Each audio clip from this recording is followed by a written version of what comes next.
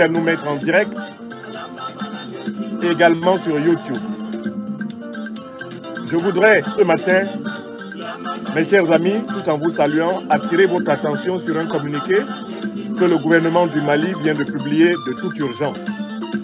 Je crois qu'il a été publié très tard, hier soir, hier 16 mars 2022. Car au moment où nous nous couchions, nous n'avions pas encore vu. Il a été publié sans doute hier dans la nuit.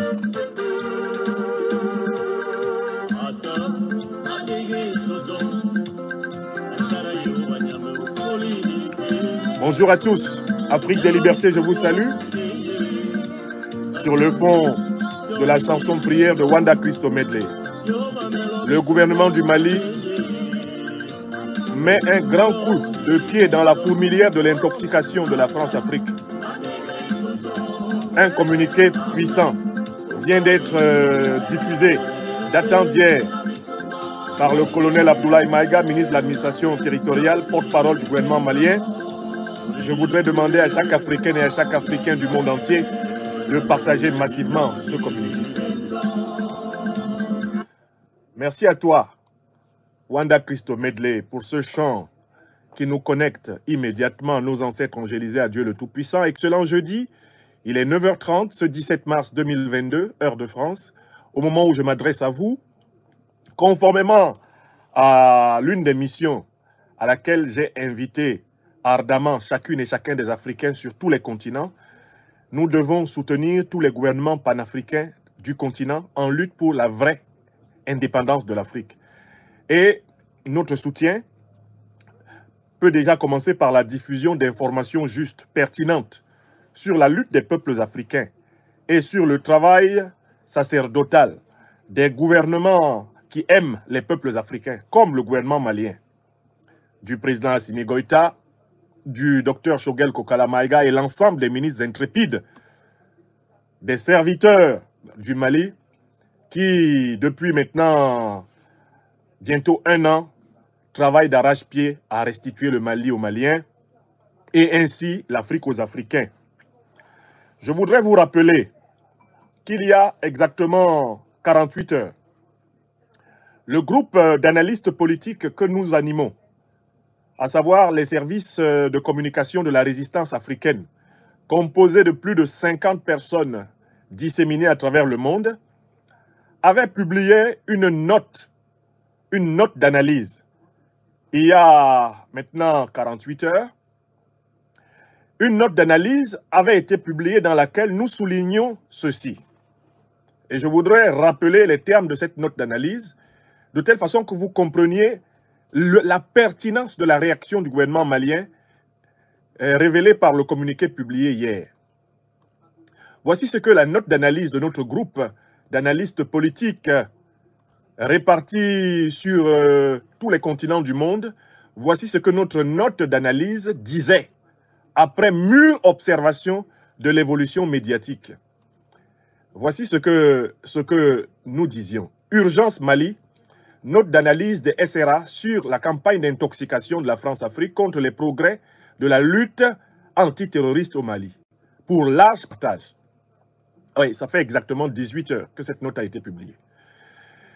Selon les données en notre possession, une intense campagne d'intoxication médiatique et diplomatique est en cours pour briser l'élan de solidarité, la confiance et l'espoir que les victoires militaires des FAMA, forces armées du Mali, remportent incontestablement contre les terroristes du Sahel depuis la fin d'année 2021 jusqu'à ce mois de mars 2022. Des sites d'information alarmantes ont été activés à travers la websphère afro-malienne et dans les médias mainstream franco-européens pour donner du Mali actuel l'image d'un pays au bord de l'implosion. Un pays dont les camps militaires sont devenus des camps de torture. Ce sont des citations. Un pays dont l'armée et ses alliés russes multiplient des bavures, des exactions contre des populations civiles. Un pays où les violations des droits humains repartiraient plus que jamais en flèche à la hausse. Bref, d'un pays en passe de devenir un chaos.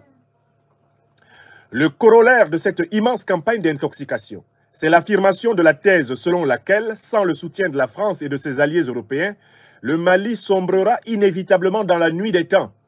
la partie nord du pays étant vouée à se détacher de la partie sud en raison de la concentration supposée des exactions et bavures dans le nord. Tout se passe en effet comme si les stratèges du chaos veulent rendre imparable l'argument du maintien absolu de la présence militaire occidentale au Mali. Or, nos analystes africains et internationaux ont enquêté dans trois directions. Auprès des populations maliennes, des autorités maliennes et des opinions d'Afrique subsaharienne. Les Maliennes et les Maliens, sur tout le territoire, affirment en majorité que l'espoir revient avec la détermination du gouvernement de transition à assurer prioritairement la paix et la sécurité. Côté autorité, les chiffres des réfugiés de retour dans leur lieu de résidence à travers le pays, plus de 50 000 retours actés en février 2022, les chiffres des pertes infligées aux terroristes du Sahel et les réalisations sur fonds propres maliens dans les domaines sécuritaires, sanitaires, éducatifs et sociaux parlent éloquemment en faveur du sérieux du président Goïta et de son gouvernement dirigé par le docteur Shogel Kokala Maïga.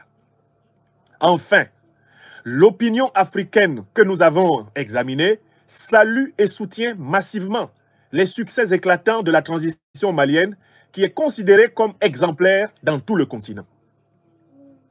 Les services de communication de la résistance africaine peuvent dès lors formuler des conclusions et recommandations suivantes. 1. Le Mali sous la transition va mieux que le Mali sous tous les régimes qui l'ont dirigé depuis l'invasion terroriste de 2012-2013. 2. Le peuple malien et l'ensemble de l'Afrique des libertés doivent ardemment soutenir les efforts de communication des autorités du gouvernement de transition pour faire connaître les progrès réalisés dans tous les domaines depuis la rectification de la transition malienne. Pour cela, il faut absolument que chacune et chacun des amis des luttes émancipatrices africaines considère la diffusion d'informations pertinentes et actualisées comme un impérieux devoir. Troisièmement, les autorités maliennes doivent trouver, créer et ou renforcer des canaux efficaces de désintoxication des opinions occidentales sur ce qui se passe réellement au Mali. En effet, la lutte africaine pour la vraie indépendance requiert une victoire constante de l'Afrique et Bamako, Bangui, Pretoria, Alger, Paris, Londres, New York, Pékin, fait le 16 mars 2022 par le service de communication de la résistance africaine. Fin de citation. Telle est l'alerte que nous avons publiée dans la matinée du 16 mars 2022. Vous pouvez aller vérifier. La pertinence de cette alerte vient d'être confirmée par le communiqué du gouvernement de transition du Mali signé par le colonel Abdoulaye Maïga, porte-parole du gouvernement, ministre de l'administration territoriale. Et donc maintenant, écoutons le travail d'un gouvernement d'émancipation. Voyons comment de manière courageuse, le gouvernement malien prend le taureau de la désintoxication, le taureau de l'intoxication par les cornes et opère une action de désintoxication vigoureuse. Je vous donne lecture du communiqué publié dans la soirée, hier, 16 mars 2022, par le gouvernement du Mali. Et vous verrez la parfaite symbiose d'analyse qui caractérise à la fois ce que les chercheurs, les analystes de l'Afrique des libertés ont mis à la disposition du public et ce que le gouvernement souverain du Mali a compris. Je vous donne lecture de ce communiqué qui est disponible sur ma page euh, Facebook et disponible maintenant sur tous les réseaux sociaux. Je vous demande, africaines, africains du monde entier, de le partager massivement. C'est notre devoir. Ministère de l'administration territoriale et de la décentralisation. République du Mali. Un peuple, un but, une foi. Communiqué numéro 023 du gouvernement de la transition. Le gouvernement de la République du Mali a appris avec une profonde consternation de fausses allégations de violation des droits de l'homme et du droit international humanitaire. Ces fausses allégations sans aucun fondement ont été publiées respectivement à travers un une déclaration de Mme Michelle Bachelet, haute commissaire des Nations Unies aux droits de l'homme, le 8 mars 2022. 2. Un rapport de Human Rights Watch, le 15 mars 2022. 3. Un reportage de la radio France Internationale RFI, le 14 et 15 mars 2022.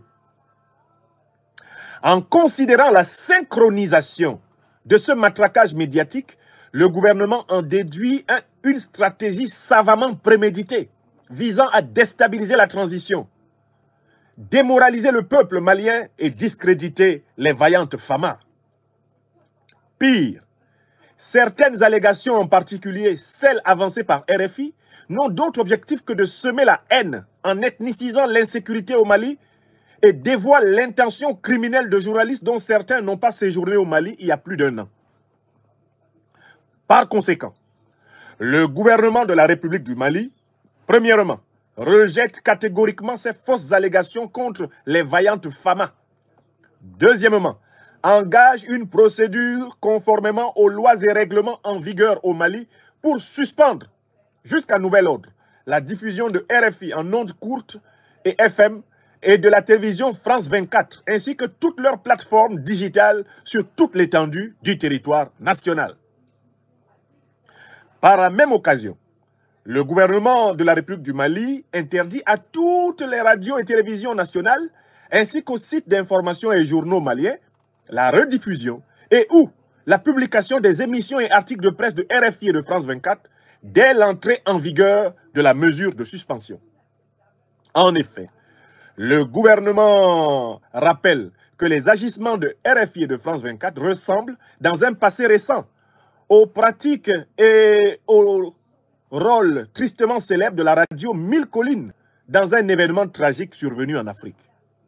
Le gouvernement de la République du Mali réaffirme son soutien total ainsi que celui du peuple à nos vaillantes FAMA qui respectent les droits humains et agissent toujours avec professionnalisme dans la lutte contre le terrorisme. Il rappelle que tous les cas avérés de violation des droits de l'homme et du droit international humanitaire impliquant les éléments des forces de défense et de sécurité font systématiquement l'objet d'enquêtes impartiales et les auteurs sont toujours sanctionnés conformément à la législation nationale. Le gouvernement de la République du Mali invite le peuple malien à rester vigilant, à faire preuve de discernement et à soutenir les autorités de la transition dans leur noble mission de sécurisation de notre pays et de défense exclusive des intérêts supérieurs du peuple malien. Que Dieu bénisse le Mali.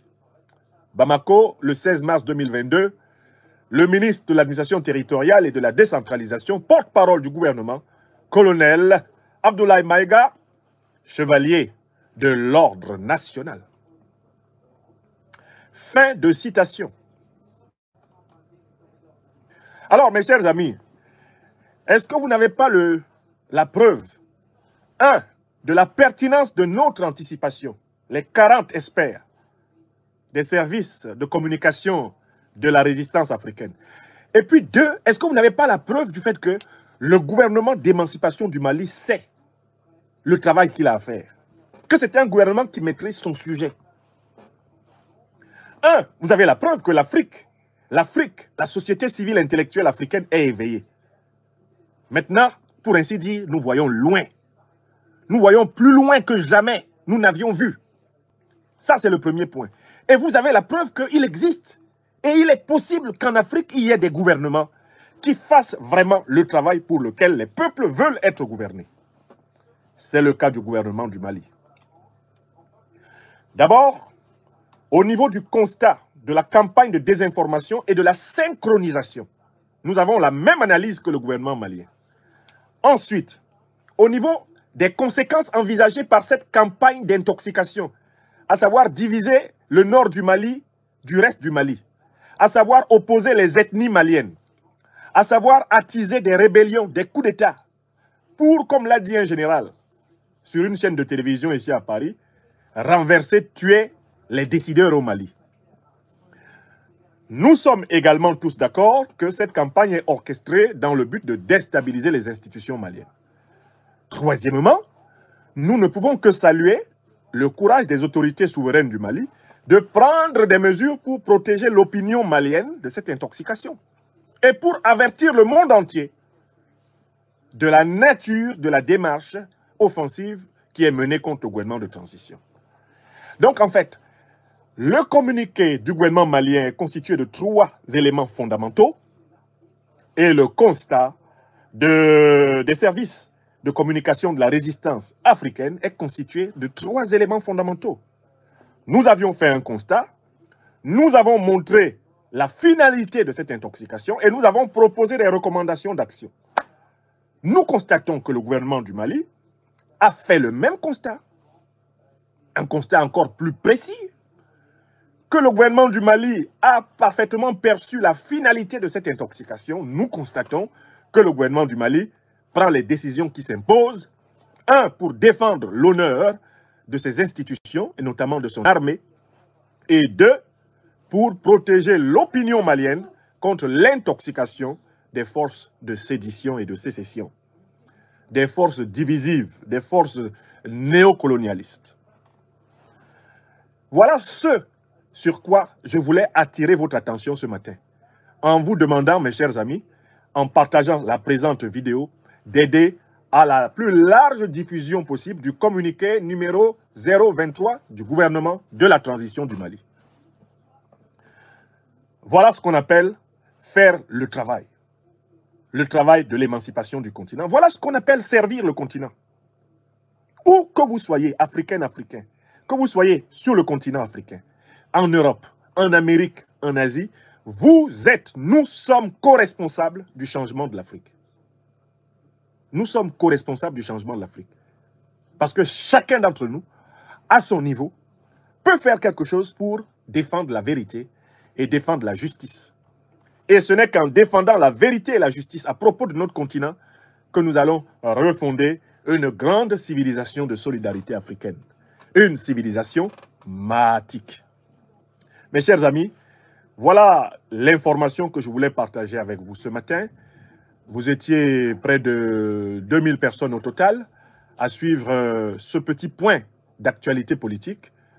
Eh bien, j'espère que vous êtes autant de personnes à avoir partagé eh bien, cette brève émission. Je vous souhaite une excellente suite de journée. Que Dieu bénisse l'Afrique, que Dieu bénisse chacune de vos personnes dans tout ce que vous faites de juste et de vrai. Merci encore. Vive le Mali. Vive l'Afrique. Par la grâce du Tout-Puissant. Merci.